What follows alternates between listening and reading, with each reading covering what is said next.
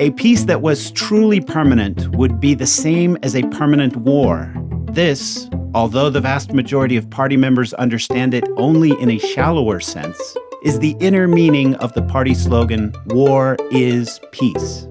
Emmanuel Goldstein, The Theory and Practice of Oligarchical Collectivism. Hello again. Let's continue our journey with the valiant Hidalgo and his savvy squire.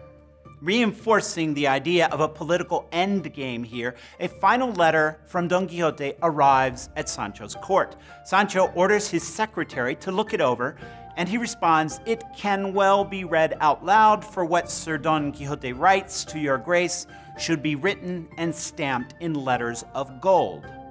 Don Quixote's preamble indicates his pride in Sancho's humility, which has caused a metamorphosis he alludes to Psalms 113, verse 7, and 1 Samuel chapter 2, verse 18, when he gives thanks to heaven, which knows how to lift the poor out of the dung heap.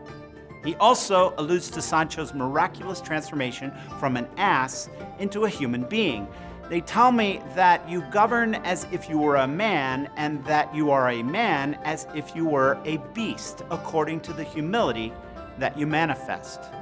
There's more advice here on how to avoid a political fall from grace. Be civil, make sure the people are well fed, don't issue too many decrees, embrace virtue and avoid vice, remember the Aristotelian middle way, and my favorite, promote justice and fairness regarding weights and measures in the marketplace. Above all, Sancho should review Don Quixote's written advice. Then Don Quixote informs Sancho about a certain Catmint, asks him if he still thinks the mayordomo is the Countess Trifaldi, and hints at Rodriguez's business, which he fears will anger the Duke and Duchess. Did you know? The battles of Malta 1565 and Lepanto 1571 were financed primarily by Spanish silver mines in the New World, the largest among these being Potosi in modern day Bolivia. Finally, Don Quixote cites an anti utopian Aristotelian dictum in Latin Amicus Plato sed magis amica veritas, or Plato is a friend, but the truth is a greater friend. Strangely, he assumes Sancho has already learned this from his governing experience. Don Quixote was an idealistic humanist at the beginning of his letter, but he's a rational scholastic at the end. Typically, right when we locate a moral or identify with a character in Don Quixote, Cervantes deploys irony and other perspectives to make us question our own conclusions. Take Sancho's letter. Whereas Don Quixote's letter suggested that the governor was doing well, Sancho's reply is ominous. Sancho has ignored some of Don Quixote's most important advice in favor of humility and against lineage. Specifically, he displays social status by not cutting his fingernails, and he decides to marry his son to the distressed daughter of Diego de la Llana because the latter is as much an hidalgo and an old Christian as one could ask. Furthermore, although he's concerned with maintaining an orderly marketplace, he still sounds corrupt at times. For example, he exaggerates his avoidance of graft and bribes. So far, I have not handled any fees nor taken any bribes. But he then says he will acquire gifts for Don Quixote either by skirt or by sleeve, that is, honestly or dishonestly. Sancho says he doesn't understand what Don Quixote means by the catting although he assumes it involves enchanters.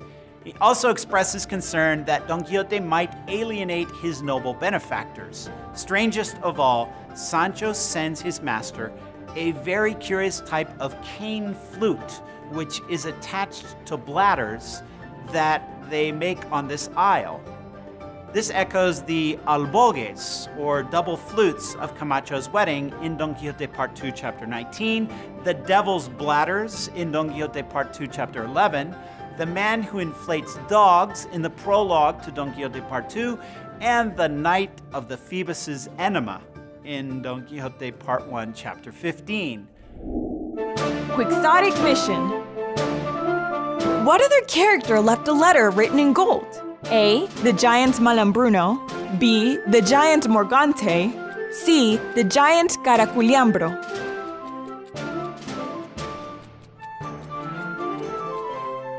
Correct answer A. The giant Malambruno. Finally, we come to the edicts that Sancho imposes on the citizens of Barataria, the constitutions of the great governor Sancho Panza. Perspectivism. As elsewhere in Sancho's reign, this legal document manifests a weird combination of wisdom and stupidity.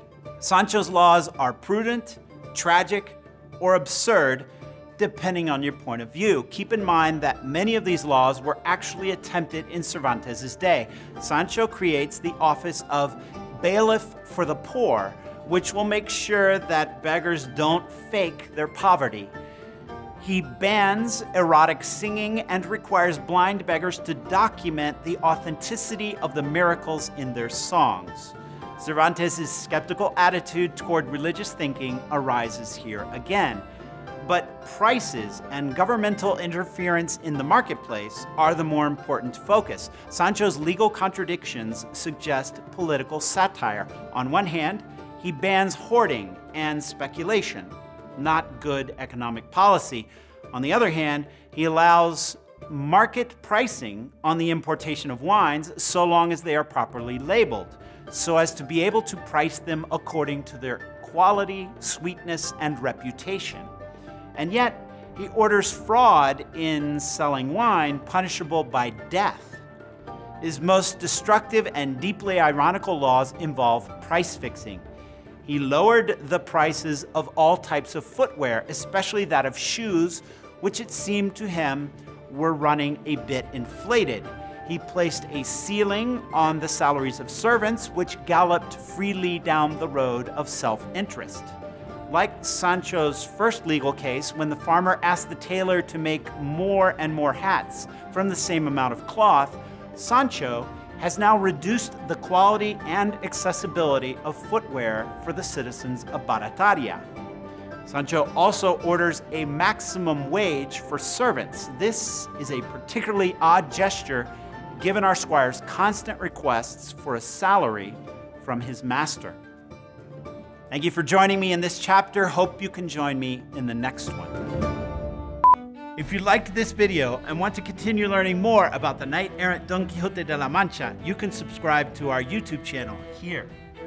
Also, you can enroll in our free online course on Don Quixote by clicking here.